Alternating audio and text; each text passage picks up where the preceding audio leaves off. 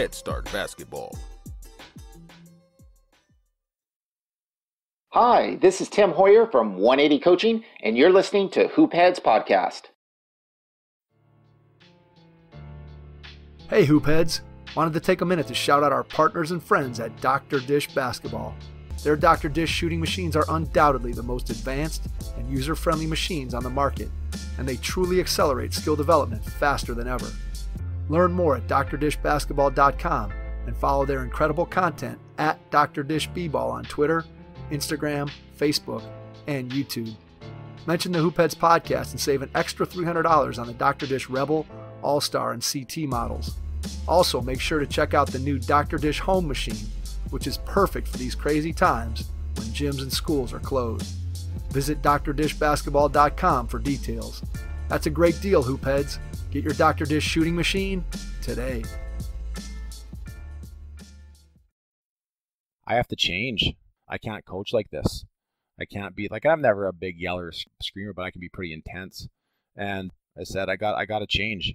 And next day had a meeting with my guys, apologized to them, and just said, guys, that's not the coach I want to be for you guys. That's not the kind of coach I want to model. And I said, from this point on, I said I'm not going to yell at you guys. Here's the standards. Here's the expectations. And if you don't want to meet them, then you just won't participate. I'm not going to yell and scream at you guys to get you to do what I think you need to be doing. Is like I want you to find that motivation within you intrinsically. Shane Sowden is the men's head basketball coach at Briercrest College in Saskatchewan, Canada. He is also part of the Thrive on Challenge mentorship team and hosts the Culture Builders podcast in support of the mission at Thrive on Challenge. Shane grew up playing a variety of sports and ended up focusing on basketball and baseball in high school which led to a baseball scholarship opportunity at Northwestern State University in Louisiana. After university, he was offered a varsity boys basketball head coaching position back in his hometown, so he moved back home after graduation to begin his coaching and teaching career.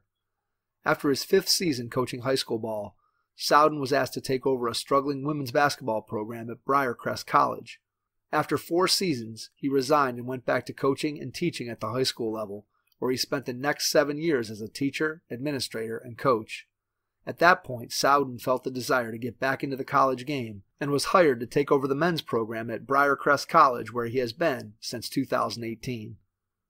Our Hoopheads Pod webinar series gives you access to some of the top minds in the game across all levels, from grassroots to the NBA. If you're focused on improving your coaching and your team, we've got you covered. Visit hoopheadspod.com slash webinars to get registered. The trailer for Thrive with Trevor Huffman, the first show from our newly created Hoopheads Podcast Network, is available now for you to download and subscribe wherever you get your podcasts. Thrive with Trevor Huffman will take you into the lives, minds, habits, and routines of the world's best and brightest to help you improve your performance. Make sure you check it out. Grab a pen and paper so you're prepared to take some notes as you listen to this episode with Shane Sowden, head men's basketball coach at Briercrest College in Saskatchewan, Canada. Hello and welcome to the Hoopheads podcast. It's Mike Klinzing here with my co-host Jason Sunkel, and tonight we are pleased to welcome to the podcast head men's basketball coach at Briercrest College in Canada, Shane Sowden. Shane, welcome to the podcast. Hey guys, good to be here. We are excited to have you on, get a chance to dig into the varied experiences you've had in the game of basketball and in athletics in general. Let's go back in time to when you were a kid Talk to me a little bit about your athletic background, how you got into basketball. We also know that you were a college baseball player. So just kind of go through your childhood sports experience for us. Oh man. Uh yeah, ever since I remember, I think, you know, probably the the, the oldest story I have is my dad saying as soon as I could walk, I was picking up a ball. Um, you know, didn't matter what sport it was. It was uh, picking up a ball, picking up, you know, those big red plastic bats. Um, you know, playing in the backyard, running around, all that sorts of things. So you know, ever since I was young, very attracted to sports, playing them all the time. That's all I wanted to do. Wanted to watch it, wanted to play it. You know, read. That's basically how I learned how to read. You know, reading the back of sports cards in the, the sports section in the newspaper. Um, you know, I missed missed that. Um, and uh, yeah, so growing up, mostly played every sport I could get my hand on. Um, just wanted to try everything. Gravitated towards basketball and baseball um, as I got older, and those were kind of the two sports you know love the most, which is maybe a little different being here in Canada. You know, all my friends played hockey. Um, I wasn't the best skater. Um, you know, I was bigger than a lot of them, but put me on a pair of skates and um, I couldn't do too much. So the the the field and the and the court were a lot more a lot more fun, more conducive to my skill set, and just uh, yeah, I was always playing whatever season it was. You know, fall it was football, winter it was street hockey, ice hockey. Um, you know, basketball clubs, baseball in the in the spring and summer. It was just, uh, but yeah, as I as I got older, um, kind of settled on basketball and baseball in high school and really focused on those those two sports. Played volleyball as well, and um, yeah, those are my two two loves, I guess. Um, followed them passionately, and then just went had the opportunity uh, to you know go play either baseball or basketball at the college level, and it just came down to choosing. I wanted to play at the highest level possible, and um, had more offers to go play baseball, so ended up choosing that path. But yeah, ever since I was young, just sports have been a huge part of my life, our family's life, and you know our family vacations were taken following me around playing sports, and so um, yeah, that's kind of it in a nutshell. All right, two questions. So you mentioned about looking at the statistics in the newspaper, which obviously people of our generation did a lot of, and that doesn't exist anymore. But I always think about with my own kids, one of the things that I think about when it comes to whether it's reading statistics in the newspaper or reading the back of baseball or basketball cards, one of the things in math that I was always amazed at when I was a kid, and I continue to be amazed at kids today, is I learned how to do percentages from calculating basketball players' free throw and field goal percentage, and then baseball players' batting averages. And so you could tell me what's five out of eight, what percentage is that? And I would know simply because of sports, not because I was interested in the math piece of it. So did you find when you were a kid that you were able to quickly calculate percentages just based on your time spent with a box score in the newspaper? Oh yeah.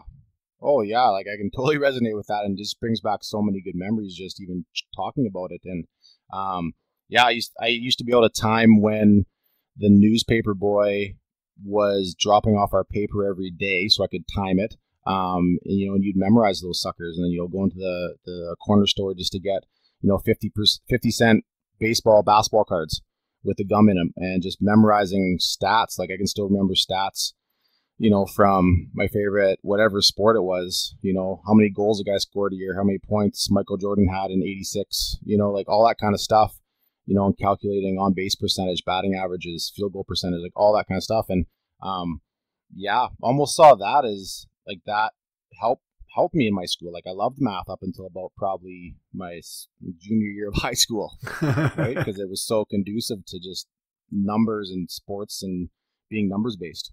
Absolutely. To follow up on that, could you ever have foreseen a day where you didn't have a newspaper? I always think back to when I was a kid and even on into adulthood. And I would get up in the morning, whether it was before work or before school or whenever, and I'm eating my breakfast, and I would always have the sports page next to me. And as newspapers sort of started to fade away, I would always say, Oh, I'm always going to get the newspaper. I can never see a time where I would be sitting and eating my breakfast cereal and have my phone or an iPad next to me. And I was like, ah, that'll, I'll never do that. And what am I doing now? I'm sitting there with my breakfast cereal and my phone or my iPad looking through articles and sports and all the things that I would have looked at in the newspaper. It's just a, such a strange phenomenon to not have that printed media in the same way. It's so different from the way I'm sure you grew up as well. Oh, extremely. And you know, and I in in many ways I miss it so much. And like I got three young boys, and they're you know they're they're nine, 11, and thirteen right now, and you know they're into sports and all that. And it's just a different um, you know like they're not looking at the sports cards they're not looking at the sports page looking at the stats and so it's almost like as a father who who loves that stuff and they're interested in it it's almost like i got to show them like here's here's what we used to read here's what this used to look like here's how we learned you know like hey here's this basketball card look at the back and you can see all these guys stats and how good they were and you know what they did and what they mean and um but back then it was just like you know, you get the paper, you got the cereal box, you're reading the back of the cereal box. Hopefully, you're getting some type of toy or card in the cereal box as well. Absolutely. And you know, you're you're eating your Cheerios or whatever you're eating, and you're reading the box scores and all the articles you possibly can from from last night. Um, and uh, yeah, like really really miss that. Honestly, it's a I think it's a lost art, and it's it's really too bad in many ways. Yeah, I agree with you. I miss I miss having my physical paper that I can turn and flip, and clearly you think about now the ability to find whatever you want on demand and get mm-hmm. scores and get updates, and instead of having to wait for the paper and say, I wonder what happened in that late West Coast game, and I, uh, you know, I had to go to bed before it was over, and maybe it's not even going to be in the paper the next day. And then how am I going to find out the score of that late game? It's just a totally different world. But I do miss having that physical paper next to me while I'm eating my cereal. Just one of those again weird quirks of an old guy like me trying to go back and think about what it was like when I was a kid. Think about when when you were young and you were collecting cards who was your favorite baseball player? Who was your favorite basketball player? One or two guys that you looked up to that were kind of the people that you were the biggest fans of when you were younger? Well, you know, being being in Canada, you know, the teams I, we follow, you know, the Toronto Blue Jays, of course. So like loved, you know, Roberto Alomar, Joe Carter, John Olerud. You know, was a huge Roger Clemens fan. Um, you know, a lot of people forget he played two years for the Blue Jays. Um, you know, uh, Roy Halladay, huge, huge fan of him. And from a basketball standpoint, it's really, really unique. And I think this is what really started. I think I was at first I was a bigger baseball fan growing up and really enjoyed basketball, but then I feel like basketball for a while there, you know, caught up and just started really developing a deeper love for the game in high school when we got our cable package up here in up here in Saskatchewan. We're just above North Dakota, and so we got a couple American channels, and we never got ESPN, which when I was down in the states, loved ESPN. My goodness, but um, missed that. That's for sure. It's a whole but, other uh, world, right? Oh yeah, but uh, um, the big the big thing was we got our one sports channel we got we got WGN from Chicago, and so growing up, I watched a ton. Like so, watching The Last Dance right now is just so nostalgic for me because I grew up on the Chicago Bulls. Um, we got every single game of theirs on WGN. And so, you know, from basically 90, oh man, 92 right through, you know, the, Jordan's second three year run there, um, watched probably hundreds of Bulls games. You know, like the, their their intro music still gives me goosebumps. Um, so it's just you know, and Chicago's pretty far away from where we're at. But so growing up, it was the Blue Jays, and then you know, honestly, it was the Bulls. I was a huge Charlotte Hornets fan. My favorite player growing up was uh, Larry Johnson. Um, yeah, Larry Johnson. I used to and, shoot like Larry Johnson. I like that. I wish I could dunk like him, man. Yeah, exactly. Was, uh, I'm, I'm showing my showing my boys and some of my players. Um, yeah, this is who this is who whose poster I had on the wall. Larry Johnson, Shawn Kemp. You know these guys doing crazy things back in the day, and just ordered a few I think I got a few Larry Johnson rookie cards off eBay the other day for like a buck. Um, nice. Got them in the mail, and the kid, my boys, were like, "Who's this?" And I was like, "Guys, this is who this is. Let's go." you know, so start showing them old old clips of Larry Johnson with the Hornets, and um, you know, so those were kind of you know my childhood favorites growing up. Um, still remember Charlotte taking out Boston for their first uh, playoff series win with Alonzo Mourning there and everything. So um, yeah, that's kind of those were my my teams, my heroes growing up. But yeah, the Bulls WGN was a huge, probably a huge turning point of just. So I have a que- I have a question yeah. in regards to this. So when when the two Canada teams came, did you align yourself with with Vancouver or Toronto, or did you really just kind of stick with what you were accustomed to? I like I like both. We're a huge. We're you know most people up here are huge Raptor fans now. You know, and in many ways you can't help it just because I think they're just really well run. But I think it's really unfortunate. Like, um, it's kind of like in baseball and when the Montreal Expos were there, you cheered for the Blue Jays and the Expos because um, they're both like Canada's team. But um, I think the NBA really messed up by getting rid of the Grizzlies because uh, I think they could have been pretty pretty huge, and uh, Vancouver's a huge hotspot for basketball, and so yeah, for however many years, five or six years, whatever it is that they were there, it's really it's kind of like kind of like Seattle going to Oklahoma City. Just doesn't feel right.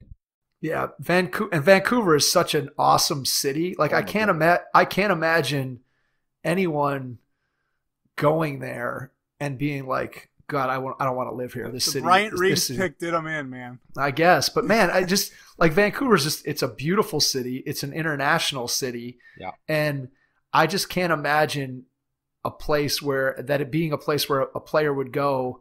And I guess clearly if you're an American and you have some distaste for being in a foreign country maybe, but otherwise, I mean, it's just it's just I mean, it's beautiful there. I can't imagine anybody going there and being like, "Oh, this place stinks. I wouldn't want to play here." It is it is un, unreal. Um, you know, just the the city, the, the diversity, the weather. The weather is actually not like like the rest of Canada.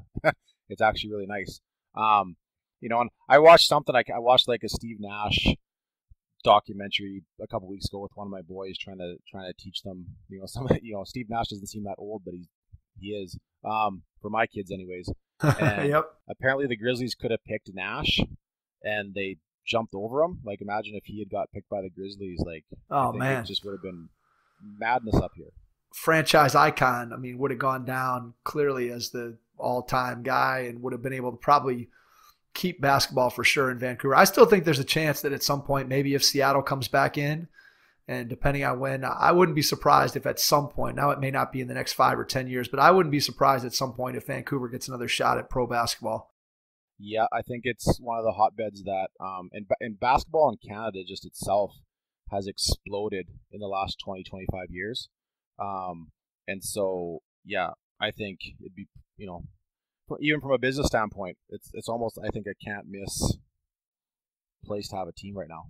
Yeah, I agree. I think if you put a team in Seattle, it would make a ton of sense to expand and put a team in Vancouver as well. You just have, you know, you think about it from a travel standpoint. You got Portland and you got Seattle and you got Vancouver, all sort of in that general Pacific Northwest area. I think it'd be it'd be perfect. You mentioned the Last Dance. Jason and I have jumped on and done. We did a little recap after each one of the last Sunday nights. So just give me what was your favorite scene, moment, takeaway, maybe one or two things that were your favorite things that you saw in the documentary? You know, I've done, I've read so much on Michael and the Bulls and everything, you know, and, and Phil and all that. Probably my favorite character that I hadn't maybe I could say character, you know, player. I deep deep dived into was was Dennis Rodman. Um, I just I enjoyed his story. Um, I just think the part that I loved was, you know, he was who he was, love him or hate him, but he was loyal. He loved the game. He relentlessly studied film, and he was a huge piece. And I, I don't, you know, just even seeing him work out after after games, like you know, just the guy was a absolute machine. And you know, I don't know how if I could have ever coached him, but right, exactly. Um, I just really, I really enjoyed his his uh his story so far. Um, and uh, yeah, that's the one. That's the one I've enjoyed the most. But yeah, there's there's so many. There's so many good snippets. I just I just wish they had. I would have liked to hear from more of Jordan's family members. That's the part I would have liked to hear more of. It would have been interesting to hear. You know, you saw his sons a little bit in the last two episodes, and mm. but we never obviously heard from his ex-wife. Didn't hear from his current wife at all.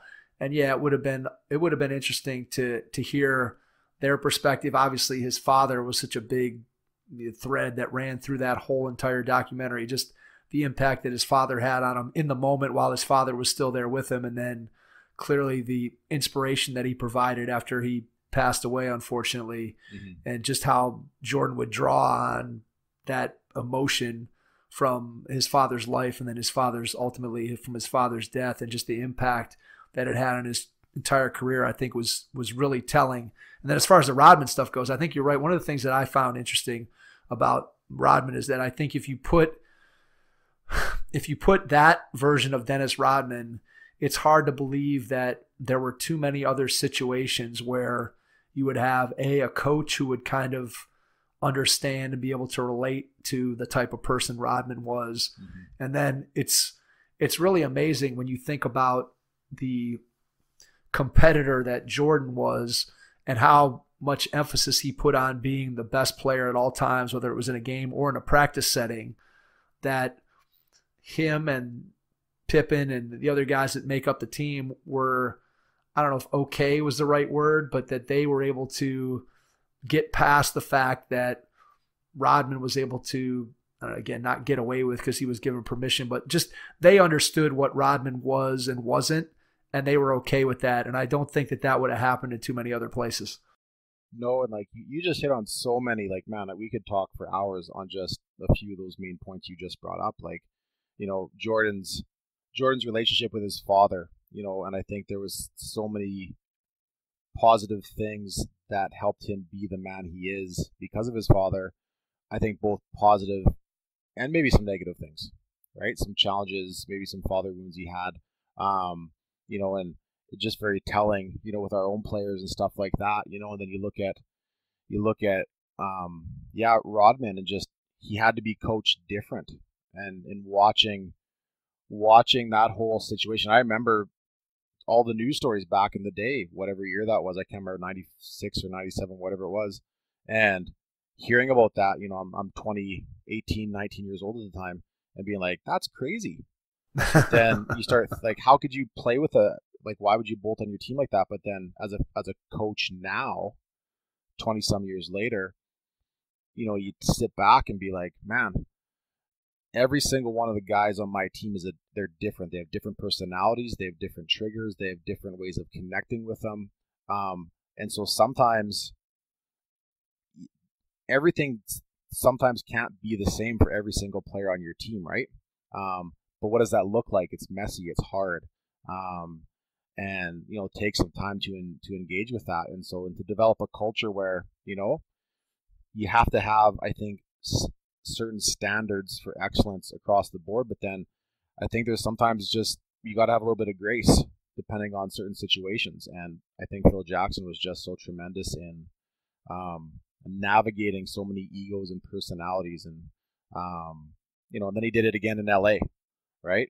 Absolutely. Um, so he always had a lot of talent, but I think sometimes that talent wasn't winning until he got there. In a lot of ways, he was ahead of his time because oh, you think about what coaching was prior to that, or the way that it was thought of, was here's what you're going to do. You're going to do it because I said so. And if you're not going to do it, here's your punishment. Here's what's going to happen to you. Here's what we're going to take away from you. And I Phil Jackson was at the forefront of the idea that being fair doesn't necessarily mean being equal with everybody. And exactly. that that case with Rodman clearly illustrates that Phil Jackson understood that if he tried to hold Rodman to the same standard as he held Michael Jordan to, it wasn't going to work. And you were going to get nothing from Dennis Rodman. He was going to be gone for your team almost inst- instantaneously. And instead, you have to figure out a way, as you said, to understand each one of your players, understand what their triggers are, understand what it is that they need. And obviously, the things that Dennis Rodman needed were a little bit out of the ordinary.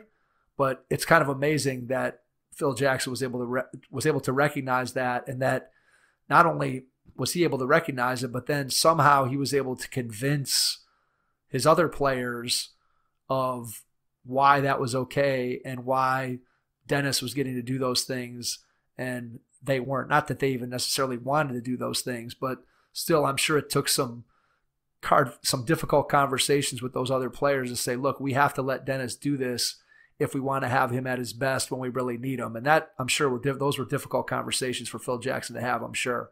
Well, um, it'd be it would have been interesting just to see like how how how many nights, how many weeks did he agonize over decisions like that, right?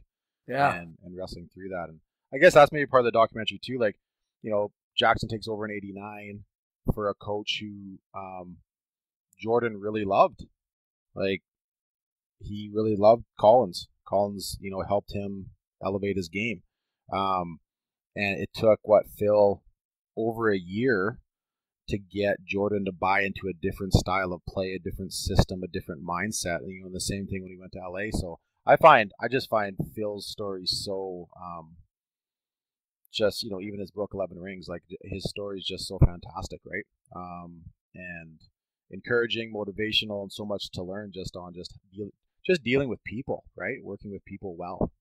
Yeah, and that speaks so much to what coaching really is. And we can all talk about the X's and O's and practice design and all this stuff. But especially today, I think that those things, you can figure those out. If you're a hardworking and you're somebody who's resourceful, you can go out and you can find whether it's mentors, whether it's things on the internet, whether it's going to clinics, you can find out about X's and O's and you can figure out how, where to find a bunch of out of bounds plays and whatever offense and defensive systems you want to run. Coaches are so willing to share that stuff today that X's and O's to me is so secondary to the ability to manage personalities and people and get everyone rowing that boat in the same direction and making sure everybody's on board. And I think that's something that clearly it comes through in the documentary that Phil Jackson was able to do that with some of, in the case of Jordan, maybe the biggest ego that has ever played the game, and rightfully so. But to be able to navigate that just from a human standpoint, I think is probably the most amazing part of it. Well, and I think that's the, the probably the most beautiful part of the documentary of what Phil does. It I think it just it's starting it sheds more light on I think a, a movement that is growing a bit away from like coaches. I think all coaches like we love X's and O's, we love systems, we want to we want to you know implement all that kind of stuff. We want to learn like we in, in many cases we can't get enough, right? And and we'll pay for it. Right behind me in my office right now, I got about 50 championship production DVDs, right? Um, like we'll fork out big bucks for that. But then you take a step back because it's like it's tangible. It's like here's what you do, here's how you teach it, you know. But to teach how to communicate with human beings well, how to lead others, um, you know, shared vulnerability, communication skills, all that stuff um, that I think is coming more to the forefront now. And like you said, Phil was ahead of his time, um, but now like I'm interested in books and podcasts and webinars on on on emotional intelligence, right? Mental health, um, connecting with my players, because I think that's the really important thing, especially like with with all this COVID stuff and just social media and everything. I think that's just such a huge thing moving forward. Is how do we develop self awareness within ourselves and with our and within our players, um, and and what does that look like in our practices in our team meetings,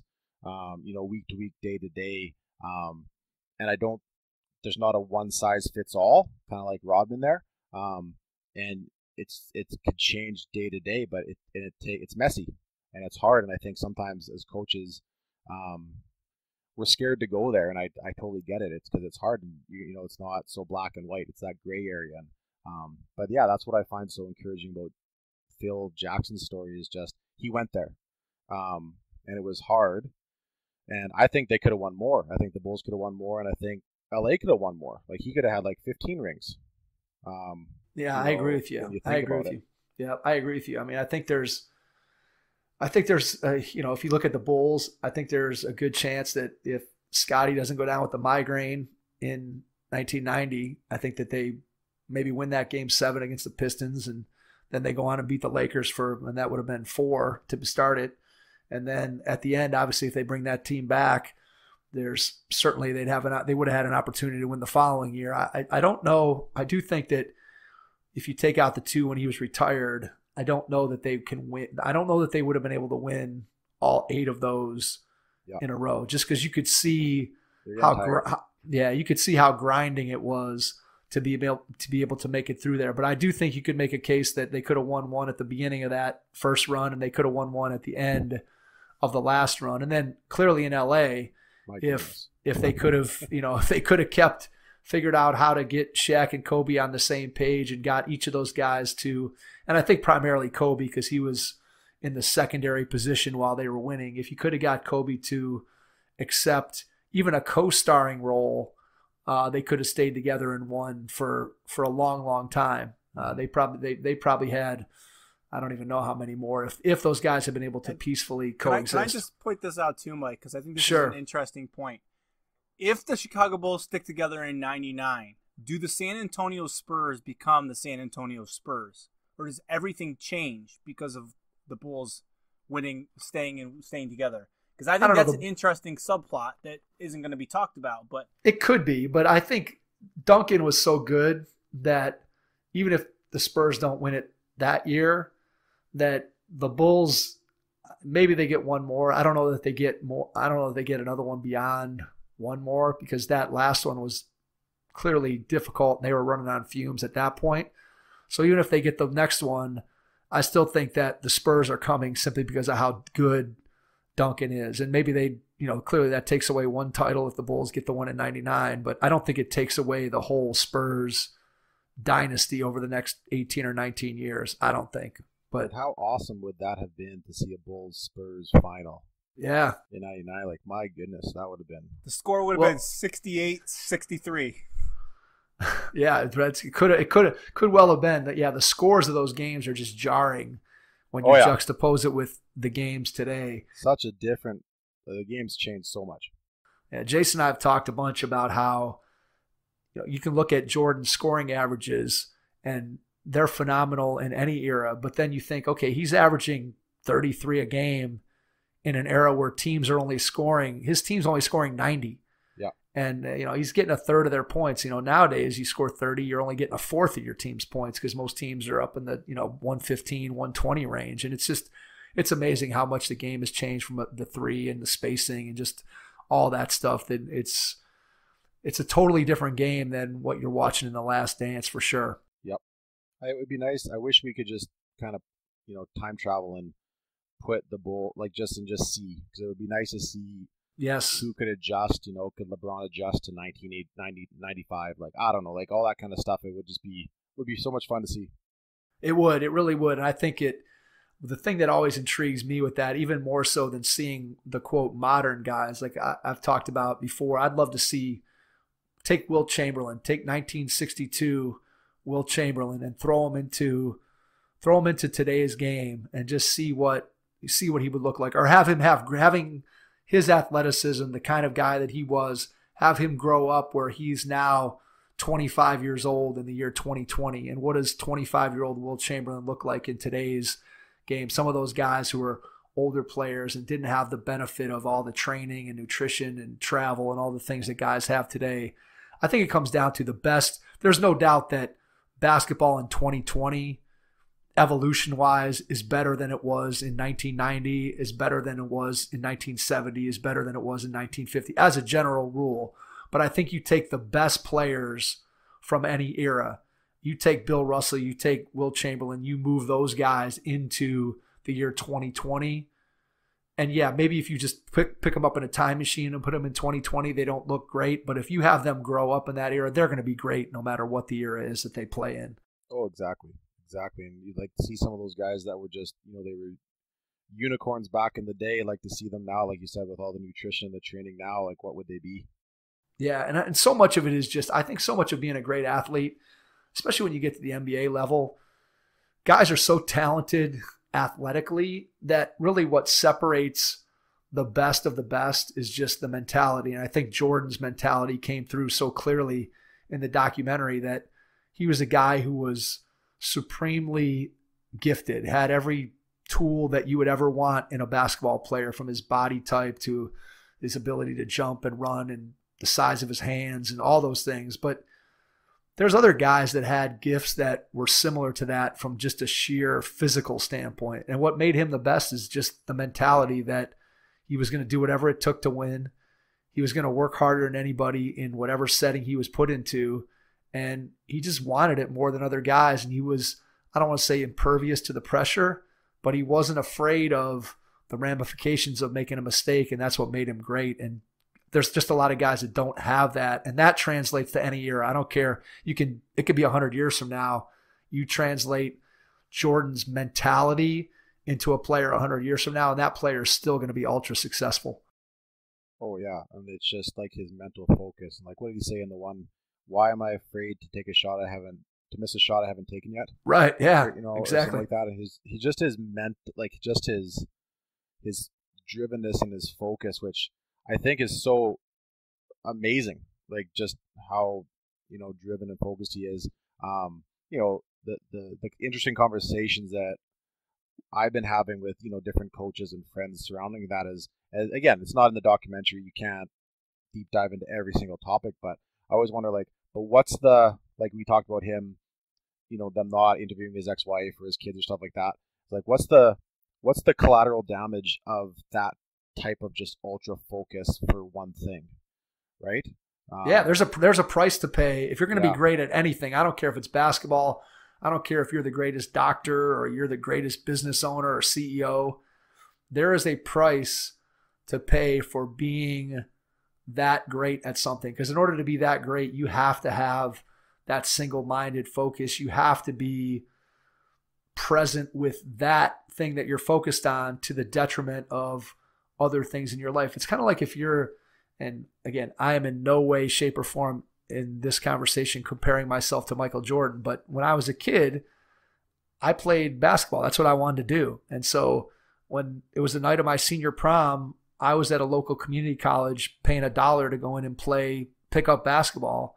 I wasn't at the prom, and people would ask me things like, "Well, what do you know? Why are you sacrificing all these other things in order to play basketball?" And I, my answer would always be, "It wasn't a sacrifice. Like I didn't. It wasn't like a dilemma for me. I didn't. wasn't debating whether, who I really want to go to the prom, but I got to work. No, I just I wanted to go play basketball, and." I think that you give something up if you're going to pursue being the best at whatever it is that you love to do, or if you have that single minded focus like Jordan did. And I think you're right that, you know, in, in a lot of cases, I think his family became collateral damage. And he was so, you could just see the guy was just wired. Like, I don't, did he ever sleep? It just oh, seems man. like he was always doing whatever and just had boundless energy. And if you're a normal person who's married to him, you have to be looking at that going, this is insane. Like, how can this guy do this? how does he do this? I think one, I, you know, and they didn't have time to, to go here, but I'd be really interested to see something in the future just because uh, some stuff's coming out about his relationship with Kobe. And, you know, I think they were a lot closer than a lot of people knew. And, um, you know, Jordan kind of mentored and taught Kobe so much, but there's stuff coming out now which I find fascinating, is like it seems like Kobe kind of figured out the family thing later on. It's like he was so driven, but then near the end of his career started to make that switch to like more of a family man and realized it at a younger age than Jordan. And So Jordan started seeing that in Kobe, and then and that and that's how kind of Kobe influenced Michael. You know now, especially like Michael has six year old twins. I didn't even know that, right? Um, you know, so um, and now he's be, kind of going back, and he's more of a family man now, and you know, taking more time to be be part of that. And so I just think it's just interesting how things come full circle sometimes. Yeah, it really is, and I think that, like you said, the influence of Kobe on Jordan, the influence of Jordan on Kobe. I don't think anybody had any idea of the depth of their relationship prior to the memorial service for Kobe out there in LA. I think that was surprising to a lot of people. And it's been interesting to see the reaction to. So you think about Jordan's post playing career and the three biggest things that he's been in the public eye for one, his Hall of Fame speech, which sort of captured the competitive killer Jordan. Yeah. And then you had the Kobe Memorial, which captured a completely different side of people that I don't think mm. a lot of people even realized was in there. And then in the documentary, you got to see, I think you went back to more of that competitive side of Jordan. That was more of what he wanted to present within the documentary, which is again understandable, which relates to the story of him being the greatest player of all time and the story and everything that went along with the documentary. But I do think you're right. There's some interesting pieces to his personality that were left out. And then I think the other thing that would be interesting, and I don't know if we'll ever get this, but you think about a guy like Jordan, who the first time he retires, he goes and plays baseball. So he has that competitive piece of it. He retires a second time, sits out, then eventually decides to come back. You wonder what that process was like for him coming back and when did he decide to come back? Did he want to come back earlier? And then you have after the third retirement, now he buys the Hornets. He's never really had a tremendous amount of success running a franchise. And you just wonder, like, how is his day to day when you're that wired to be that competitive and to be doing the things that he was doing out on the basketball floor? You just wonder how much of a void there is day to day for him that he can't do the things that he was put on the earth to do, for lack of a better way of saying it. There was it. an article that was going around last week that he played Michael Kidd Gilchrist like two seasons ago and beat beat him in one on one. When your 55 year old owner, or however old he was, beats one of your best players, you're you're definitely not going to be successful uh, as a as a um as a team. Just my opinion. I don't know. Oh man, but like you hit on something really, I think really interesting there in that you know Michael retires three times, you know, comes back twice. You know, I think there was some, you know, some pretty extenuating circumstances with the first retirement with his dad, and just I think he was worn out and all that kind of stuff. But um, you know, you think about, you know, we talk about mental health of our athletes and everything. I still remember when my college baseball career was done. Um, I went and played summer ball. Um, after our season was done, had a couple pro offers, tryouts for independent ball, turned them down. You know, had one semester left of school, and I went back to my school and was hanging out with my old teammates who were still playing and everything. And I I was not prepared at 23 years old um, to not be part of a team anymore. Like I and I didn't I didn't know what was coming. Like I didn't know um, you know the loneliness you know how much i would miss just being part of a team um, you know going to battle every day training together being with each other right? Like um, and i think there's a lot to be said you know for jordan um, you know especially coming back with the wizards like he probably just really i just wonder like how much he just missed. Like you said competitive guy loves to compete um, you know he's probably miserable for those two years you know, before he came back. And so, but I think it's very telling also to think of just our current athletes, like whether you're finishing your high school career or your college career, or maybe you get lucky enough to play pro for a little bit. Um, that transition is really difficult, or can be really difficult, and like you know, has me thinking lately, like how am I preparing my seniors or my guys for life after basketball, right? Because they're not part of that. Yeah, I don't think that that's something that a coach again, we go back in time, and I don't think that's something that a coach would have ever had a conversation with a player in that circumstance. I know that I never would have had that type of conversation with any coaches no. that I played for. And I think what you said struck a chord with me because I know that when I was done playing, that there's a void there. And to be honest with you, I can honestly say there's still a void there. Like there's nothing for me that I've done in my life that has ever replaced being a basketball player. As competitive as I might be as a coach, as competitive as I might be in my life and other things, there's nothing that has replaced playing for me from a standpoint of the intensity of my focus and what I wanted to do day to day. There just there just isn't. And I think part of that is you play sports when you're young and when things are fresh and it's such an intense experience to be 14 years old to be 18 years old to be 20 years old.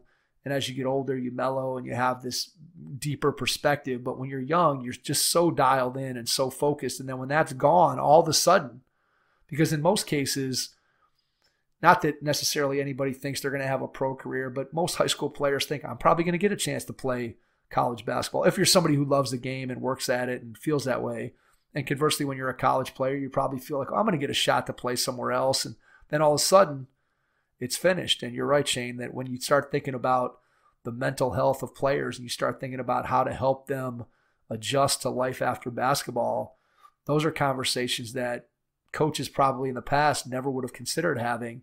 And now, coaches like yourself and people who are starting to become aware of mental health issues that affect not just players but people in general. Those are the kind of, conversations that, as a coach, it's almost you're almost obligated to have those to be able to help your players. When we talk about trying to produce people who are going to have healthy, productive lives, that's that's a big part of what we're going to end up doing. Besides the basketball piece of it, or the baseball piece of it, or soccer, or whatever, it's our obligation to be able to impact those players on a level that's going to continue to benefit them after they're after they're all done playing. And I think that's something that again, it's great to see coaching going in that direction. Well, you know, I never I never had those conversations with all the my coaches growing up as well, high school or college, about life after baseball or basketball or whatever.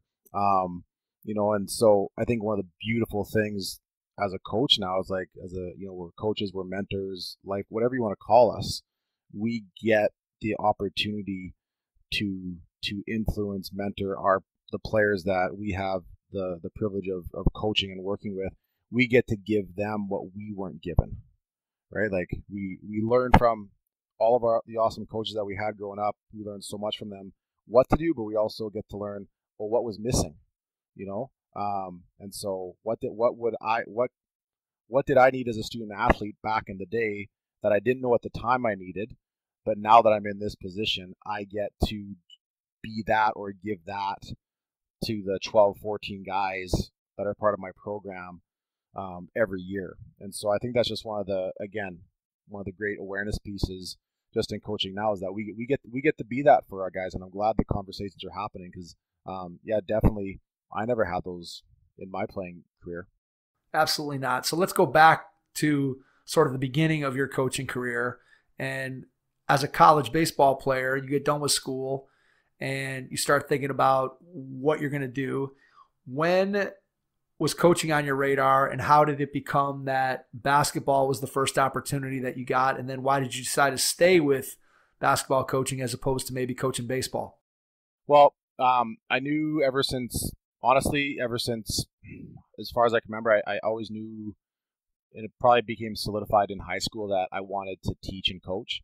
Um, it was either one of those two things. My, I remember, my, I still remember the conversation you know, I was probably reading the reading the sports section over breakfast one morning in high school, and my dad asked me, he's like, "Hey, have you?" I think it was grade eleven or eleventh grade, and he just asked, "Hey, have you thought about what you want to do after high school?"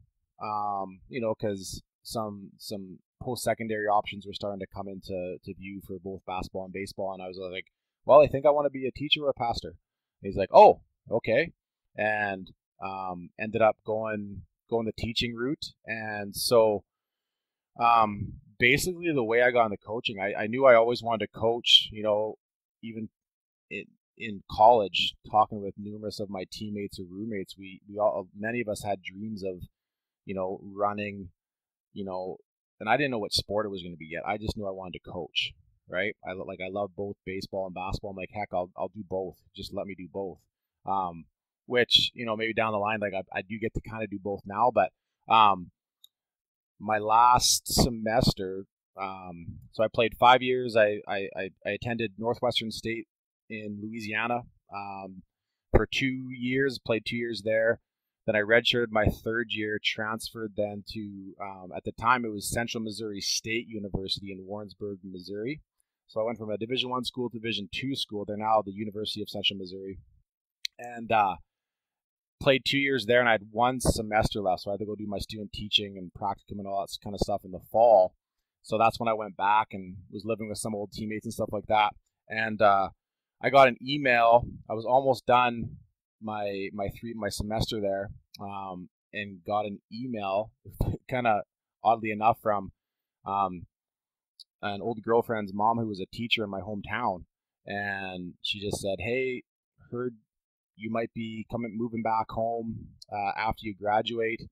Um, our high school would really need some needs a needs a coach for their varsity boys basketball team. They just need an assistant coach, but not a head coach. And I was like, well, if I'm back, you know, I'd be interested, but I don't know my plans yet. I had a I had a job offer in Kansas City to teach elementary school, and I was like, I really enjoyed the Kansas City area and um, really enjoyed my time you know, living in the states and was thinking about that. But I had just gotten engaged to my my girlfriend who was living up here in Saskatchewan, and so we decided, you know what, like let's let's just start off back home, and uh, so ended up moving back home at Christmas, basically coming in to a program um, that. So I came in about six weeks into their season, and it was a pretty big mess overall. Like, it's probably the most challenging coaching situation I could find myself into right away. Um, within two weeks, I was no longer the assistant coach. I was the head coach because the head coach just stopped showing up. And so, kind of by default, I was this 23 year old first time head coach. And when I got there, we had 13 players, you know, over Christmas break. And we were pretty terrible. Um, we did a lot of layups, to put it that way. Um, and a lot of conditioning. So I was like, well, at the very least, we're going to be able to keep up with teams if we can't actually catch and pass and shoot the ball. Um, so walked into that, and so within about a month, we only had six players for academic reasons. We were at a pretty rough school, legal issues, all that kind of stuff, and so. But it was also probably probably one of the most challenging coaching um, introductions for a young guy could ever have in many ways. But it was also one of the best learning experiences, and I have fond memories of those six guys, and I'm still in contact with a few of them now, and one of them actually teaches my kids. Um, and we came, we became pretty close, and we worked really hard. Imagine going into into games with six guys. Made I had nobody complaining about playing time. We'll put it that way. Yeah, that's um, for sure. which was really good. So that's kind of how I got my start. So I didn't I didn't really pick a sport. I I got an email and an opportunity and took it. What and did you learn? What did you learn that first year? What were some things that you took away that maybe were different from what your perception of coaching was going into it? What are some things that you took away from that first year that still impact you today? Um, that I needed a lot of help, and it's okay to ask for help. Um, I was pretty, you know, I was at that time I was five years out of um, playing high school ball myself, and I was a, a, you know, for our area up here, I was a pretty strong player, and then going to this other school where you know the talent level was pretty low, and I just kind of expected that I could tell guys what to do and they'd be able to do what I used to do. Um, and I learned really quickly that that was unrealistic. Um, and yeah, just learning how to run a practice, you know, what finding a system that fits your guys. What like I had no idea even what I wanted to run. You know, I was like, you know, do we play? You know, eventually we played a lot of zone just because we had six guys. But it's like just trying to figure that out. But I learned right away how much I didn't know, um, and that I needed to start asking a lot of questions to other coaches um, to learn, you know, and that's and that's basically when you know I started my my DVD collection and borrowing binders from coaches all over the place because you know there just wasn't this kind of like coaches weren't sharing the game for free in 2003 like they are now. Um, you know, so for me, the biggest takeaway was, yeah, I just needed help and to get rid of my ego and just to ask a ton of questions. Because I never got to be an assistant coach, right? I just got thrown into, oh, I sorry, I did for two weeks, um, and then just took over, you know, a pretty messy situation. So, who did you go and talk to beyond going and getting the DVDs? Did you have a local coach in the area? Did you have who did you go and talk to face to face to be able to ask questions to? Ironically enough, I, I there was three three three coaches that locally. My old high school coach, I went to him. Um, you know, and his teams were so good. They were just and they just. I mean, we we played them like if you can imagine coaching against your old coach and losing by 80 points. Like that's how bad it was. Um, and then our uh, another coach locally who was the coach of our rival when I was in high school fantastic coach. Um, he, I reached out to him and he had been teaching elementary school. He had moved on and was coaching some and had coached some of the players that I was going to be getting in a year or two. And he basically just gave me his whole basketball library. He had me over to his house. He's like, "Here you go. This is all I know. This is this is what worked for me. Make it your own." Um, and then I had him actually come in and run some practices um, he came in and he ran some practice. So I just got to learn, like, and watch and observe and take notes. Like, here's how you organize a practice. Here's how you transition. Um, you know, here's how you you make the best use of of your time. Um, so that was really huge. And then my old volleyball coach from high school, he helped me out as well. He he played uh, NAIA in North Dakota, and so he had some basketball background. He was a local referee, and I just said, "Hey, I'll take anything I can get." so he came out and you know, to a practice and help me implement an offensive system that just a pick and roll system that we were trying to trying to do. So um, I just kind of leaned on people in the local area that I was close to. Um, you know, compared to now, like you know, working with coaches all over North America, and you can send a tweet or a text and an email, and all of a sudden you got an 80 page PDF in your inbox. Yeah, it's incredible. That's one of the things that we've been I don't know if surprise is the right word, but we've just been amazed by the willingness of coaches at every single level to share the game, to share what they know. And I've made the comment before that in a lot of cases, even if you wanted to keep something secret today, it's almost impossible to be able to keep something to yourself anyway, even if you wanted to, especially from an X's and O standpoint when you think about how game film is exchanged and all that kind of thing. It's just there's there's nothing that is a secret anymore on the X's and O's side. The culture piece of it, I think there's still a lot of value in the things that coaches do. And what we found is just people are willing to share. They want to help the game of basketball improve. And it's no longer necessarily just about, hey, I want my team to be successful and I really don't care what goes on with all these other teams and these other players. And instead, it's, yeah, I want my team to be successful. I want my kids and my players to really have success, but I also want to see lots of other people in the game succeed and ultimately use the game to be able to improve the lives of everyone who's involved with it. And to me, that's been one of the things that I've enjoyed so much about the podcast is getting a chance to talk to coaches who are so willing to share and who are so focused on how to make the game itself better for everybody who's involved in it. It's been so refreshing for me to see that and be able to hear and talk to people from all over the country at all different levels of basketball. Well, it's so it's so refreshing and so it's so refreshing to the point that sometimes it almost gets overwhelming because you're like, there's so many people willing to talk to you, which I think is just a fantastic problem to have. I couldn't um, agree more. You know, like just being able to, I can get on my phone here and call a, a coach from Louisiana, you know, 30 hours away and be like, hey, you know, what, what do you got here? And all of a sudden I got a fast, fast draw diagram in my inbox in two minutes, right?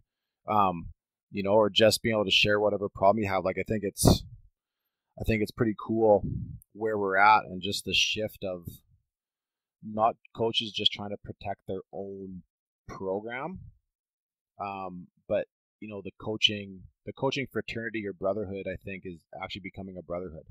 It really um, is because it's a it's a grind. It's a there's no better job but it's also extremely hard and i just i don't think people understand that so to be able to connect with fellow coaches who can empathize um, i think is is is sweet like it and, and much needed yeah there's tremendous value in being able to connect with people who are going through the same thing. I equate it a lot to your experience sometimes as a teacher in the classroom. And i know that you'll sometimes be in your school and i've been in this situation where you'll be teaching and you'll have a tough day or you'll have a tough week and you'll think, gosh, I'm the only person that this ha- is happening to because so often you just are inside your classroom and you're dealing with your students and you're not getting maybe an opportunity to talk to any of your coworkers. Mm-hmm. And then you finally do get a chance to talk to them and you realize, oh, yeah, everybody's experiencing these same frustrations and difficulties and joys that I am. And it's nice to be able to share that with somebody. And I think coaching it's very, very easy to fall into that same scenario where you're so focused on your team, you're so focused on the winning and losing, you're so focused on getting the maximum out of your team that you sometimes think that you're the first person who's experienced this type of challenge with this player or this type of situation with this team. And yet you realize when you talk to other coaches that no, these same things have been happening for years and years and years and years. And there's lots of people out there who have tried lots of different solutions to those problems. You just need to be able to find those people and to be able to step back out of your own situation and have a conversation with coaches, which obviously today is way, way easier to do than it was 20 or 30 years ago when we didn't have the internet, we didn't have the openness of the coaching fraternity as you described. Well, just I think being able to flex your empathy muscle is such a huge just to be able to show empathy to other coaches, but then to be vulnerable yourself. Um, just to be like, I don't know what to do in this situation, or I need help, or, you know, it can even come down to I'm just super stressed, anxious because of whatever reason. And just being able to know that you've got so many fellow coaches that will either just be a listening ear for you to vent to, or or to actually help give you some ideas like, hey, but try this, or just to encourage you to be like, hey, man, I've I've been there. It sucks, you know, and just uh, sometimes coaches just need to know that they're not alone, right? Because I think coaching can be such a lonely profession. Um, and I don't know the, the stats on it, but you know, um, I talked to a coach who was pretty high up a number of years ago, and he went to you know, he was on this committee, went to the national championships, and he was just like Shane said, um, protect your family and your marriage at, at all costs because he's like he went to this national championship with all these amazing coaches and they had their coaches social and he's like almost every single coach was either divorced um, uh, cheating on his spouse or was abusing some type of substance mostly alcohol just because they were so stressed out with their job and i think now we have a platform where it's again it's a lot easier to get support if we need it, right? And, and be there for each other. Absolutely. All right. That's a great topic that we've touched on in several other podcasts, but I think it's a one that's worth investigating a little bit here with you as you brought it up. And that is when you think about coaches and their lives and you think about how coaching has evolved over time. And I think that on every level, the amount of time required of a coach has always been high, but I think it's increased in the last 10 years tremendously from what a high school coach, the baseline amount of hours that a high school coach has to put in both in and out of season in order to just be competitive has risen. At the college level, I think it's the same thing. There's always been a demand on your time, but I think those demands continue to go up, especially based on the system of basketball that we have today and the need for player workouts and things to be organized and led by coaches in a lot of cases. So, talk a little bit about, or maybe give some coaches some tips, advice, some things that have worked for you in terms of protecting your family relationships, your marriage, your relationship with your kids, how you go about managing that compared to or balanced with your desire, your ambition as a coach to be as successful as you possibly can. Well, you know, unfortunately, I had I had to learn the hard way, which you know maybe some other coaches could empathize with me. they had to learn the hard way, um, you know, and so probably like most coaches, I'm extremely driven. Um, you know, on more than one occasion, woken up in the middle of the night, can't get back to sleep, so I'm just thinking about practice the next day, or the game the night before, or whatever it is, and um, it can it can be all consuming and I still remember as a young coach, like just being, especially as our, you know, we get we got a little better every year with that first team that I had, but um, I was like wondering, like, is this is this what this is going to be like? Like getting pounded every night, you know, getting a couple more wins every season. Like this, this there has to be more than this. And then then I got my first teaching job two and a half years later. Got to take over a program full time started getting some success, and then after two years there, got got offered um, a head coach at age 28. Got offered a head coaching job, um, coaching women's college basketball at the same school I'm at now. But now I'm coaching the men's program, and I did that for four years and loved that for the first two and a half years, building up a program. You know, a, a program that I took over that was winless and at that time, and then we, we grew it into a competitive program by year three. And the pressures that started to come with that and my expectations weren't meeting um, I wasn't meeting my own expectations. And then I started being I was still teaching and coaching, you know, college basketball. And uh, I, you know, a young family. Uh, by that time, we had two of my boys were born, so you know, I had a newborn and a two year old. And I ended up, for me, um, I ended up resigning after halfway through my fourth year. I finished out the year, but I was just, I got to the point where I was so mentally drained and thought I was just such a terrible coach because we had injuries and some culture stuff going on. But I had lost my, like, I didn't know why I was doing this anymore. Coaching became not fun. Um, you know, I was overeating. I was just anxious. I wasn't healthy. I was not exercising, all that kind of stuff. And I wasn't sleeping, and my wife was worried about me. And so I was like, you know what? I need to step back. But a friend, a friend after that gave me a book, and you know, you probably had a, other guests talk about it, but it was kind of the start of my journey of, of kind of turning things around. Was the book Inside Out Coaching by by Joe Ehrmann, and if for coaches out there, if they if they're trying to pick a book to start out their coaching journey to figure out why they're doing this, um, that's probably the first one I would recommend. And then um, the next one would probably be Every Moment Matters, a new release by John O'Sullivan. Like those are for me, those are the top two books. Just if you're a coach starting out or a coach, coach at any time, if you haven't read them, read them, read them. They just turn things around. And so, a friend gave me this, and the book had some questions and is like asked like, why, why do you coach? What's it like? What um, how does it feel to be coached by you? Um, why do you coach the way you do? And it also had you looking at um, your past coaches and how they coached you and how much that's influencing the way you coach. But I started things like, what is it like to be coached by me? Like how how do my players feel being coached for me? Like and and then it introduced like a bigger purpose to coaching. It wasn't just to win basketball games. Like Joe Ehrmann had taken over an inner city school in Baltimore, and basically um, his his purpose was you know developing you know for lack of a better term life champions. Like he wanted to build young men, and people would ask him, well, how how do you how do you gauge success? And he's like, ask me in 20 years.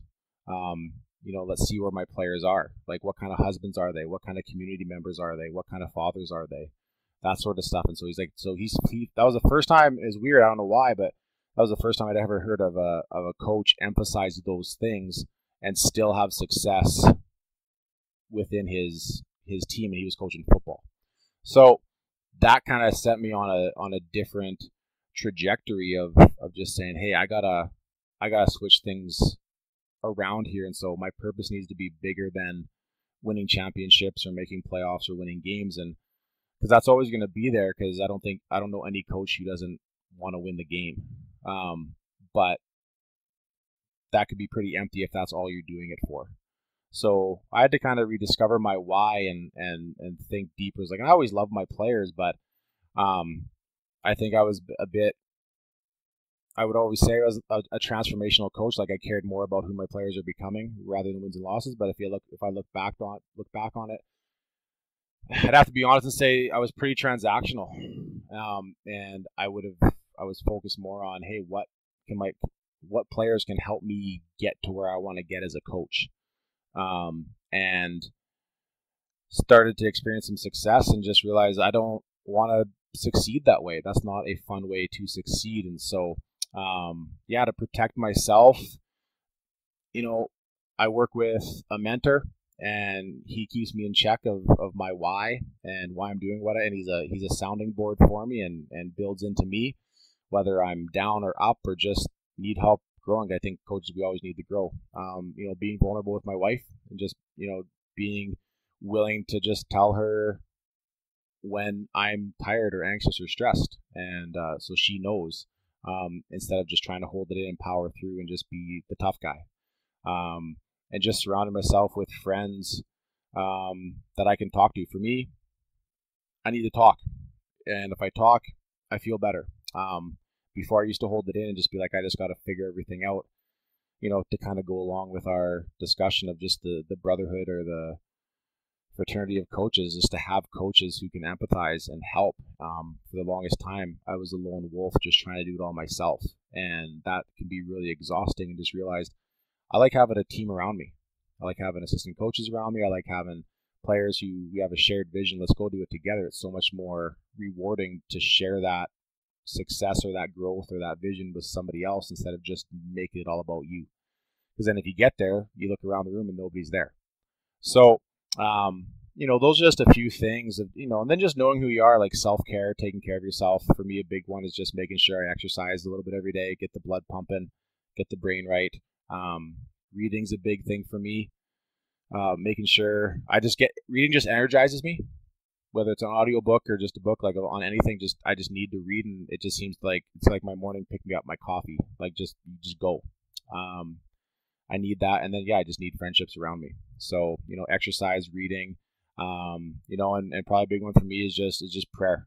Um, just to center myself with understanding why why I do this. Uh, you know, I'm a man of faith, and just just uh, you know, giving things to God when I feel stressed, and even when things are going good. Um, and uh, so those are kind of the foundations of, of what keeps me keeps me centered. I can tell if, if one of those things is out of alignment, then you know I can I can tell something's off. Put it that way, and, and those around me can as well. Do you think that up until the point where you got introduced to Joe Ehrmann's book and you had sort of that epiphany, for lack of a better way of saying it, do you think that a lot of your growth as a coach was focused on the X's and O's side of I have to learn more about the technical aspects of the game of basketball. And then after that epiphany, you became more focused on some of the things that you just talked about in terms of your why, the culture, having an impact on your players, and being more trans- transformational as opposed to transactional. Is it is that kind of the clear demarcation for you of when the shift went from I'm a basketball coach and X's and O's coach, and that's where my focus is to I'm more shifting towards the culture transformational relationship style coach. Uh, 100%. And it's it's funny because I started making that shift in my mind, but in in practice, it probably took me another three years, three four years. um, so I started like, yeah, I want to I want to be this type of coach. I want to, you know, the Joe Ehrmann way, all that kind of stuff. And uh, so I was saying it, but I wasn't living it. Um, and that just creates a whole different other challenge because you know if, if you're saying one thing to your players and but they're seeing something else, there's a disconnect there. You know, you're lacking authenticity, and I didn't see it in myself. I thought I was I was that guy. I'm like, oh yeah, I'm I'm being I care, you know, I'm being transformational, all that, all all that cliche cool stuff.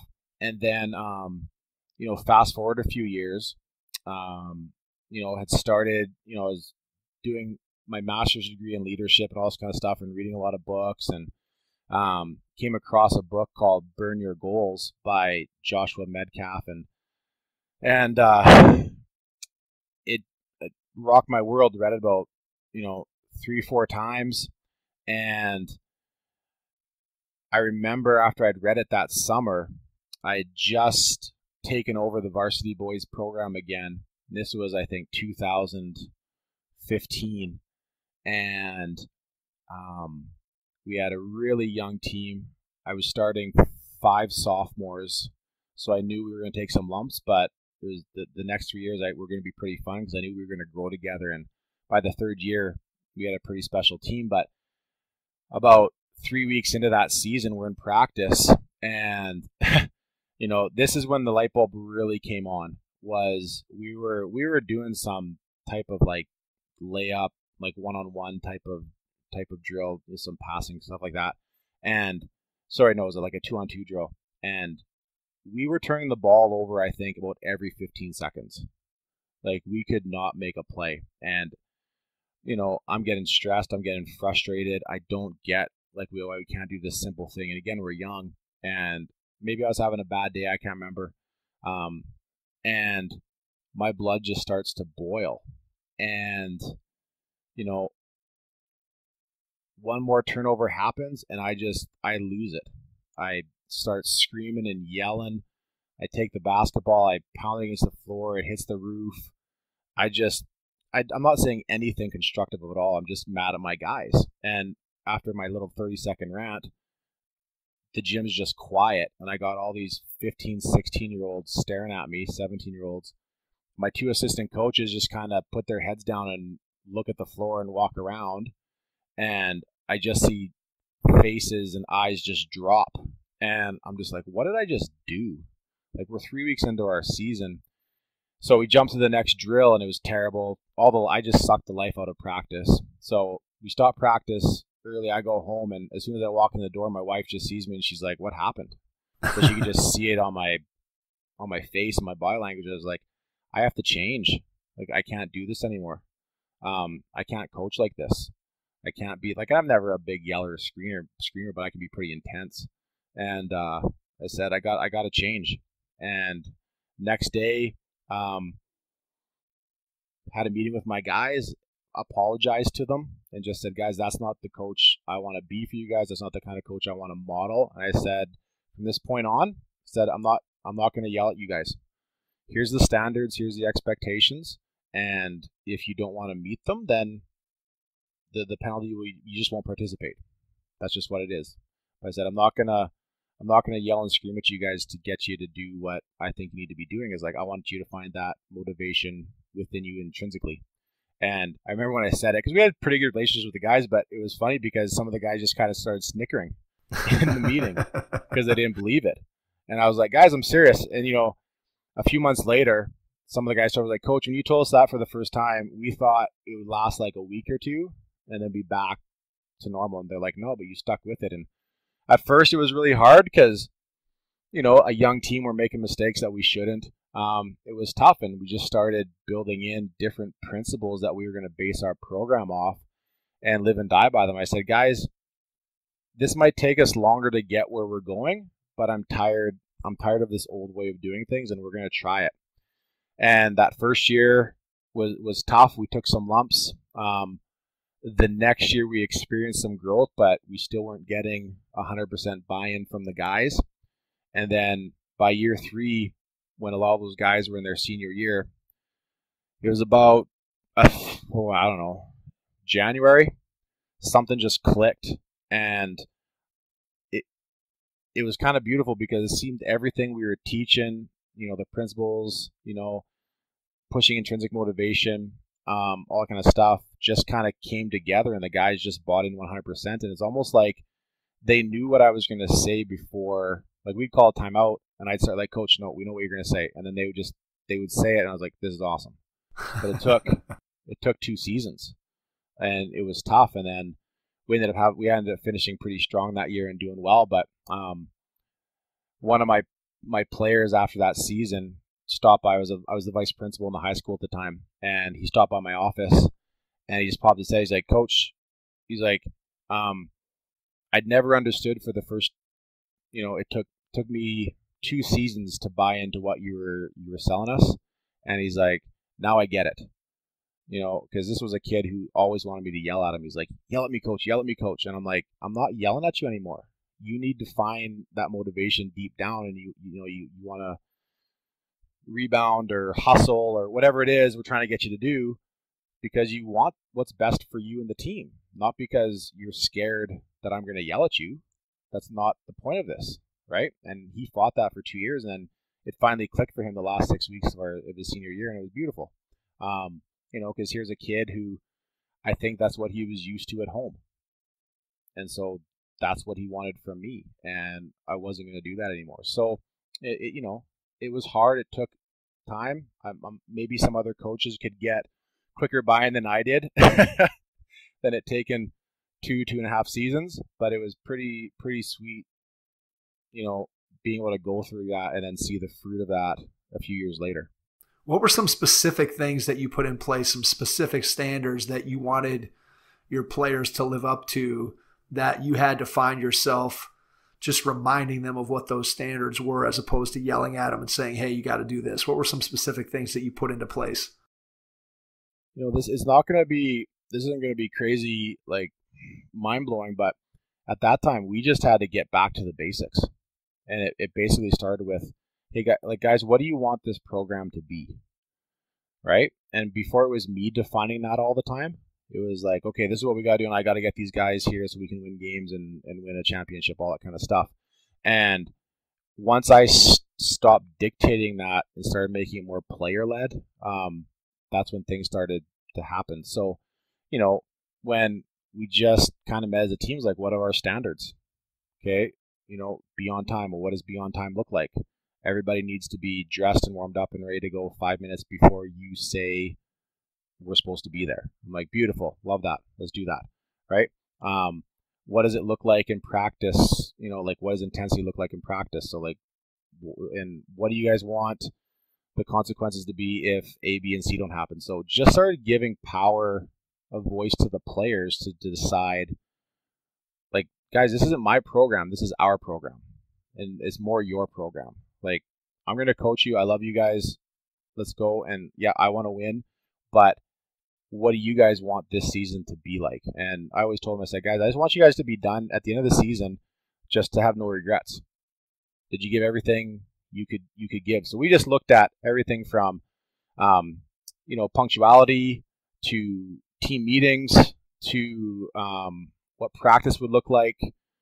What does you know even drills. I started letting some of my players like lead some of practice which was really hard to do my goodness. But it was just you know to let them see that i'm i'm trying to make this as your team guys uh, but then it was also really interesting as me and my assistant sat off just to watch what the guys focused on. Um, and then it told us like here's what the players are seeing. Here's what um, they feel they, they need to get better at. So i think it just developed a lot more trust and clarity. And then and then for me to actually follow through with what I said I was going to do, like how I was going to behave. You know, when I was like, guys, like the way I've been yelling and screaming sometimes and being upset, when is that ever okay in the workplace? Like when like can I do that as a principal? No. You know, can your parents do that at their workplace? Well, what would happen if they did? Well, they get fired. Well, I'm like, then why is it okay for me to do that with you here? It's it's not right. There's a better way to be intense, right? So we just switched it from the, the the team just started setting the standards, and I said so. And if they didn't meet them, then they decided the consequences. A lot that was just it wasn't running. It was just well then just set us off because it hurts more not to play or not be a part of practice or not be part of what we're what we're going into. So that was the strategy, and again, it took time, but it but it worked, and it kind of gave a voice to these players. And for the first time, I think they were given a voice to decide, well, what do you want this program to be? And uh, yeah, it took some time, but um, eventually it came around, and um, things started going pretty good in a couple seasons. What I love about that is something that I think is critically important when you're talking about putting standards in place for your team. And you can talk about our team's going to play hard or we're going to be punctual or we're going to do this or do that. And what I love about what you said is that you attached behaviors to those standards. Because I think a lot of times as coaches, one of the things that we get caught up in is we'll say something of what we want. So we want intensity or we want punctuality or we want whatever it is. And then we might know what we want that to look like, but our players are just guessing. And I think it's so, so important to be able to give players an actual behavior of this is what it looks like when we're doing and meeting this standard. And when you do that, I think you make it a lot easier for the players to live up to that standard when they know what the behavior is that's associated with that standard, when they know what you're going to be judging them on. Same way you think about in the classroom as a teacher. If your students know what the expectations are for the assignment, they're much more likely to be able to meet it as opposed to you just throwing stuff out there without any type of parameters of what it's actually going to look like. And to me, that's so, so important. And it goes to, again, the communication piece of being a great coach is being able to get your players to understand what you want and then getting them to buy in. So, as you said, that it's a player led team and the players are the ones taking that responsibility for putting those things together. And to me, that's critical. Well, um, I just think I've found again, it's only over the last probably five years that I've really adopted, and it's tough giving up control because I think as coaches we love being in control. Like it's hard, um, but as soon as I started asking the guys, like, well, "What do you want this to be? Like, what do you want this to look like? Like, like, what do you guys value?" And then you know they list core values, all that kind of stuff. We've all done it as coaches, but then, like you said, well, what does that look like? Like, what's the behavior associated with that value, right? Like, what really matters to you guys? And then, well, like, you know, whatever it is. So it was just really cool to start seeing the light bulbs go off in their own brains. And I'm like, and then it takes, pre- honestly, it takes pressure off me as the coach. And like, I can, I can navigate those conversations, right? Like, we're brainstorming all that kind of stuff, but all of a sudden, it's a different sense of, of buy in because the players have decided. So if, if the players, you know, if somebody breaks one of the, um, again, I don't like standards. I don't like the, the, the word rules. Um, if one of the players doesn't meet the standard, they didn't meet their own standard. It's not my standard. It's our standard. It's your standard. I'm like you, you guys, and in some cases, it's the guy that he's the one that came up with it, right? And so, absolutely right. So I just find it's just such a powerful exercise to do with your with your players. But the big thing is you have to follow through with it, right? Because you know a lot of players will at first test are we actually going to abide by these. But yeah, I, I've just found that an incredibly powerful thing is let your let your team drive what you value, the behaviors and standards, because um, then it's all it's more on them. All right, let's talk a little bit about the difference between being a head coach on the women's side, head coach on the men's side. what's what's different? What's the same? What have you learned from having both experiences? Oh my goodness, I gotta be careful here. Um, probably the probably the biggest thing I would say is that what I found in both cases was when I took over the women's program, I had their trust right away. I had to lose their trust. So my so I took over the program, brought in I can't remember. I think we had 13 girls the first year, and they trusted me right away, and trust was established pretty quickly. And the only way I was not going to have that trust is if I did something to lose that trust. Um, when I took over the men's program two years ago, I remember having a team meeting with at, it was after their season was done. I was on campus. We had a team meeting with all the guys from that team, and just basically for a chance for them to talk to me, ask me questions, that sort of thing. Basically, me get to lay out my vision, who I am. Because um, at that time, many of them only like, well, he's just a high school coach. I'm like, well, I did coach college at one time and all that kind of stuff. But um, I found with guys, you have to earn their trust. You don't have it right away. And so it's like, yeah, they'll come play for you, but then it's you, you gotta. I find I don't I didn't I don't you don't get their trust right away. Like you've got to prove that you can do what you're say say you're gonna do. So I found that was one big difference with guys and girls. Um, I found coaching the women's game, they wanted to be told what to do more. They wanted to like run a specific system as like, well, coach, like, where do I go here, here, and here? And so they wanted a very scripted, and maybe that was the type of player I had at that time, and all that kind of stuff, and maybe the programs they came from. But the girls really wanted me just to lay every little detail out for them. Whereas I find with the guys, and you know, the game's changed over the last ten years, but they want to kind of know what's more of our like, how are we going to play, right? Like, what's the expectation? Are we playing up tempo? You know, moving like whatever it is. They want to, and then they want to have a bit of a framework, but they want to have more freedom within that framework. And so, I found that really interesting. Is like trying to give kind of like the whole thing with the team setting the standards is like giving a bit of rope, letting guys make mistakes, um, coaching them through it to gain that trust, and then sometimes, honestly, gaining that trust is you getting them to play a certain way or wanting to play a certain way, and they may be skeptical, but you still let them kind of make their mistakes throughout it to, to so that they can see where you're trying to lead them in order to gain that trust. Like, oh, okay, now, coach, now I get what you're talking about, right? That sort of thing. So I think those are two of the the biggest differences um, with guys and girls. Probably the third one is um,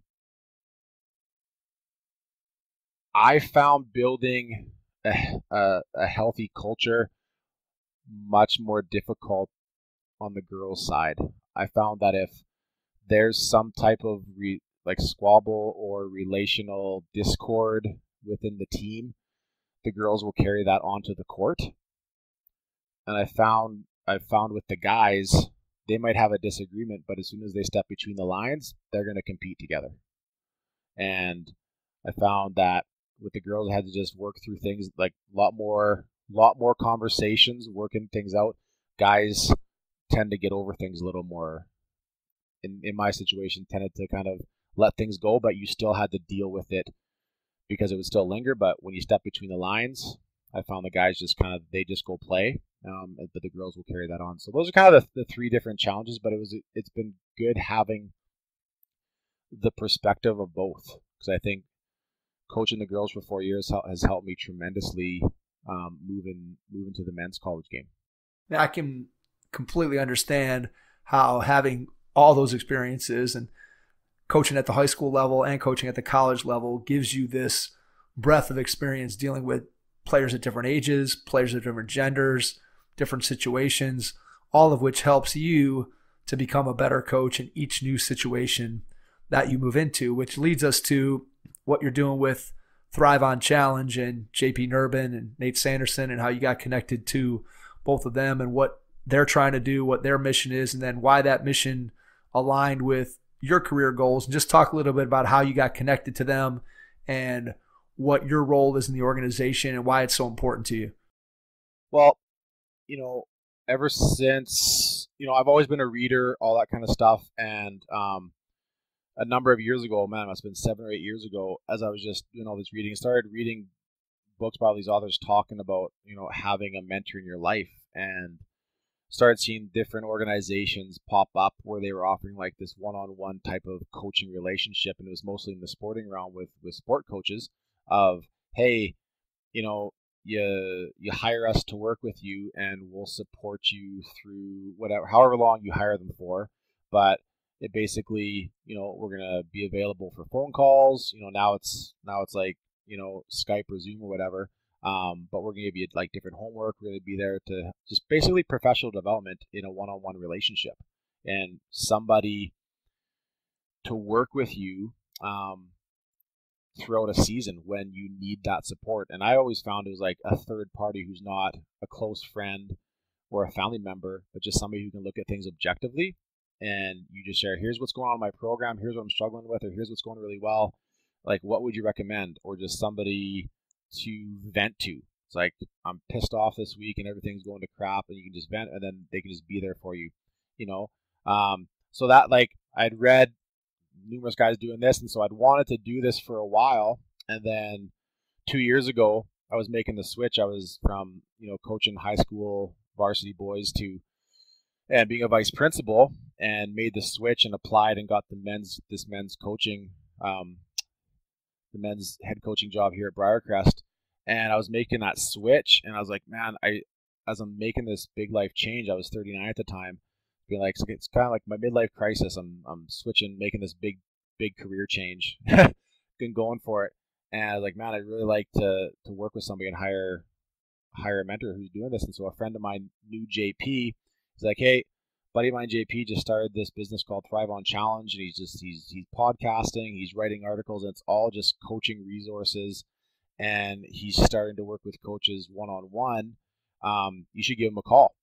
I was like, sure, let's see. You know, he's just starting out. That kind of excited me. Like, I don't know, I just kind of like the idea of somebody just getting going with this, and gave JP a call, and we hit it off. We talked for like two two and a half hours and he just wanted to know my story and where I'm at and where I'm going and all that kind of stuff. And so he really helped me transition, just you know, putting in different systems with our team culturally. Um, you know, everything from just how we run our practices um, to the way we run our uh, how we set up our captains.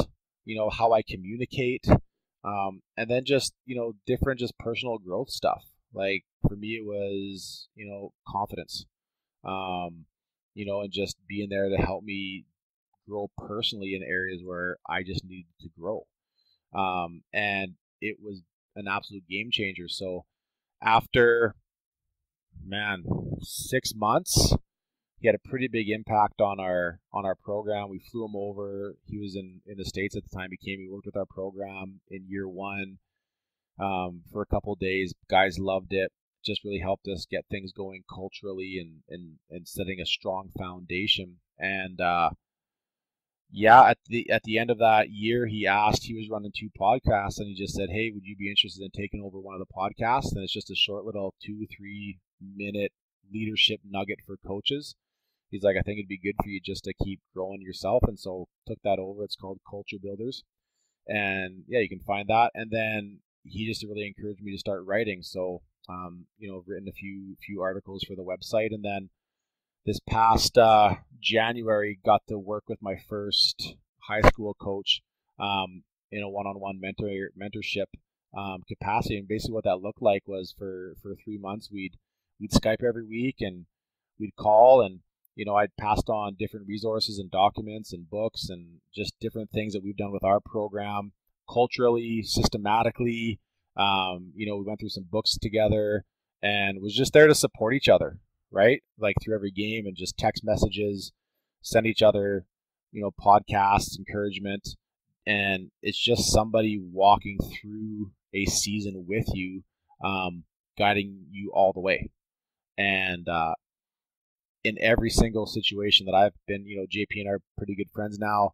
Um, you know, he's had a huge impact on me, not just my coaching, but you know, my relationships, you know, with my kids, my spouse, all that kind of stuff. Just because um, it's just been a, a sweet relationship that way of just helping me know who I am, why I do what I do, and bring me back to those things consistently. And then he and then he he pushes me out of my comfort zone. Like, hey, why don't you try this, or why don't you consider this? And so, um, yeah, they they brought me on with their team um, in the fall, and yeah, it's slowly slowly been growing. And you know, JP's been JP and Nate are fantastic.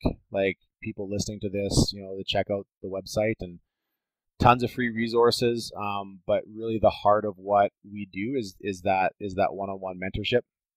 That's the thing that you know JP's worked with dozens and dozens and dozens of coaches and, and programs all over North America, and uh, you know the fruit is there and just the impact that he's had on these cultures. And so they can do everything from these one on one mentorship relationships from a distance to coming on campus for three days and working with your assistant coaches and, um, you know, observing your practices and building in like all sorts like team build, whatever you want. Like there's just, it's really endless, but you just, our whole focus is we want to be there for other coaches and just to resource them and help equip them to be the best they can be.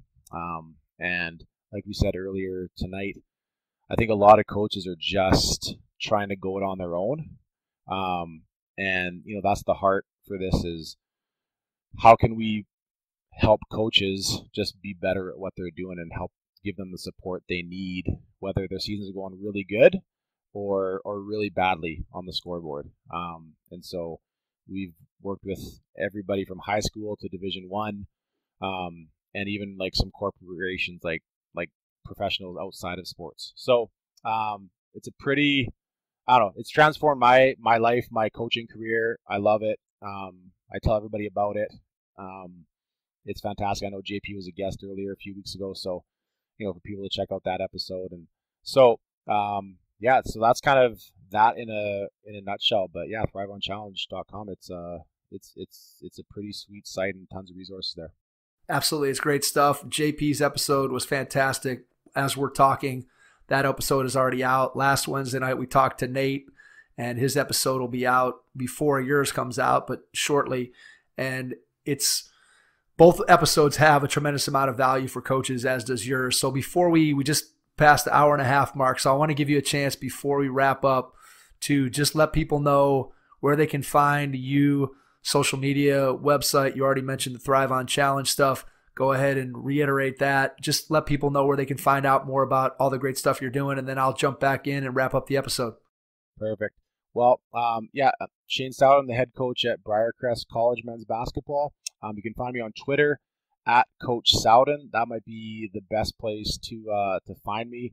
Um, email, you know, I don't know if you want to put that in the show notes. You can put my email on there as well. Would love to hear from you. Um, yeah, doing that. The Culture Builders podcast. Um, there's articles on Thrive on Challenge.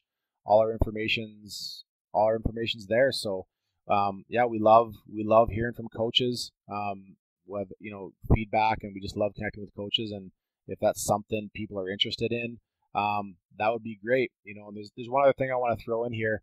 Uh, just a little plug is up here in Canada, um, we get three international uh, spots to give away, only three, and um, it's a lot. Pretty cheap when you cross that border when you take the American dollar and then turn into the Canadian dollar. But we've we've had a few Americans up here playing last year have had really good experiences, and so um, yeah, if if there's coaches listening to this um, from a recruiting perspective, and they're looking for a place to play, Canada's a great place to to come play and experience a different culture. Um, and we're, you know, I'm I'm currently looking for a place, but I mean one more player for next year, um, who's an international player. So yeah, if somebody wants to reach out through either just on Twitter or, or email there, would love to hear from you. Terrific. That would be fantastic. Coaches out there, take Shane up on his offer. There's so much good stuff that Shane, JP, and Nate are doing with Thrive on Challenge. I would highly recommend you check out their Culture Builders podcast. Make sure you check out the website. They've got a tremendous amount of free resources, a lot of great articles on what it takes to build a positive team culture, develop leadership within your team. It's great stuff. Shane, we can't thank you enough for spending an hour and a half with us tonight. It's been an absolute pleasure. I think there's a ton of value in our conversation for coaches. Plus, we got a chance to talk a little Michael Jordan, which is always good. so, uh, I want to just thank you personally and to everyone out there. Thanks for listening, and we will catch you on our next episode. Thanks. Thanks for listening to the Hoop Heads podcast, presented by Head Start Basketball.